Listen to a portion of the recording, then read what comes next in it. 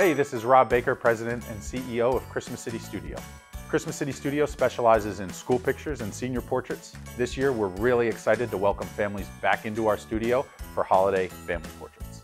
We're excited to share with families our variety of indoor classic portrait backgrounds and an exciting variety of rustic outdoor backgrounds. Families come in all shapes and sizes, and we're excited to welcome everyone here to Christmas City Studio.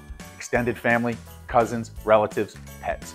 Bring them along, they make for the best portraits, we're really excited to welcome your family here to meet ours.